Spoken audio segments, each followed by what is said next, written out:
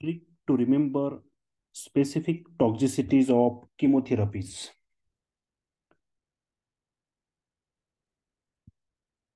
The specific toxicities of the chemotherapies is an frequently asked question in competitive exams of the medicine, pharmacy, and nursing.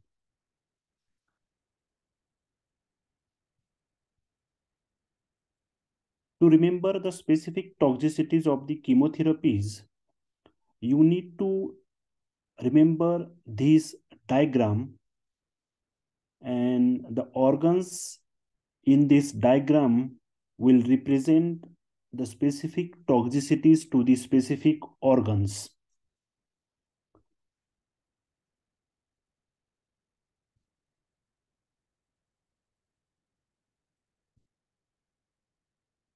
Here, the ear is represented with the alphabet C. And the name of anti-cancer drug starting with the C is cisplatin and carboplatin. Cisplatin and carboplatin is responsible for the ototoxicity, that is the toxicity to the ears that may leads to the hearing loss. So here we need to correlate the ear shape C to the cisplatin and carboplatin. In this diagram, there is also another C and that represent the kidney as an organ.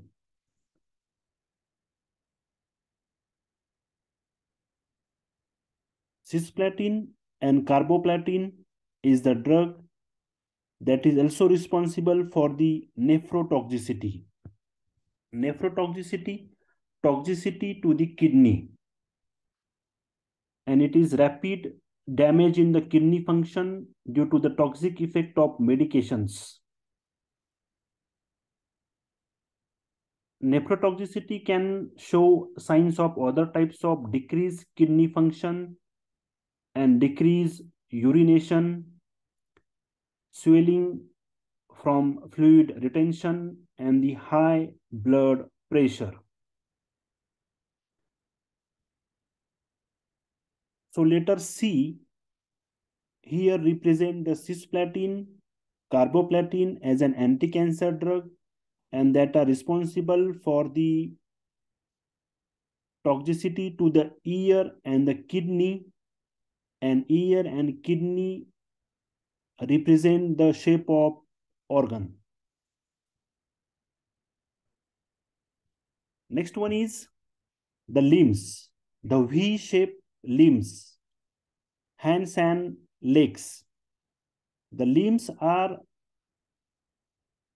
here represented as a V and the anti-cancer drug start with the alphabet V is vincristine. And vincristine is responsible for the peripheral neuropathy it, it is a result of damage to the nerves located outside of the brain and spinal cord. That is the peripheral nerves.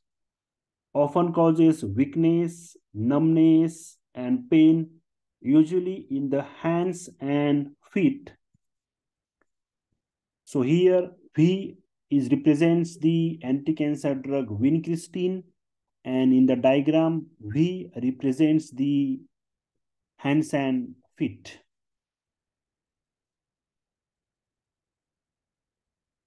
B later represents in the diagram lungs.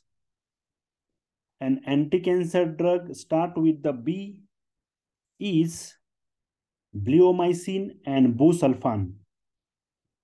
Bleomycin and busulfan is responsible for pulmonary fibrosis pulmonary, pulm related to the lung functions. pulmonary fibrosis is a lung disease that occurs when lung disease become or lung tissues become damaged and scared. It thicken stiff tissue makes it more difficult for the lungs to work properly. And the common symptoms of pulmonary fibrosis is shortness of breath and dry cough. So the letter B represents bleomycin busulfan and in the organ it represents the shape of lungs. The letter D here represents the heart and the letter D start with the anti-cancer drug doxorubicin and daunorubicin and this doxorubicin and daunorubicin is responsible for cardiotoxicity. The symptoms of cardiotoxicity includes shortness of breath, chest pain, heart palpitations, fluid retention in the legs, distension of the stomach, and dizziness. So here we need to remember D for doxorubicin, daunorubicin as an anti-cancer drug, and we need to correlate with the heart as an organ. In this diagram, there is T in the heart and T letter represents the name of drug trastuzumab, which is a monoclonal antibody and it is responsible for cardiotoxicity.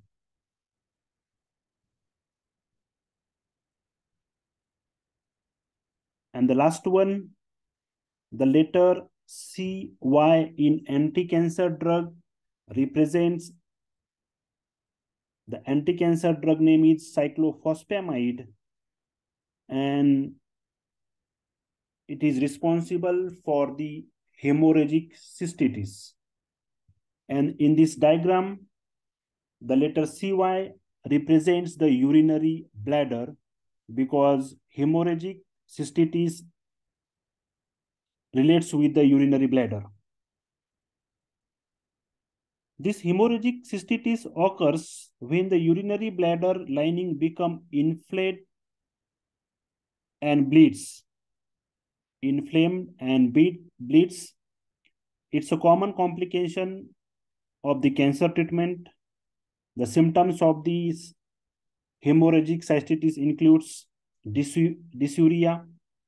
We can say pain or burning when passing urine, feeling unable to empty the bladder, loss of bladder control, urinary frequency or urinary urgency for empty of the bladder, getting up multiple times a night to urinate, and fatigue due to anemia are the symptoms of hemorrhagic cystitis.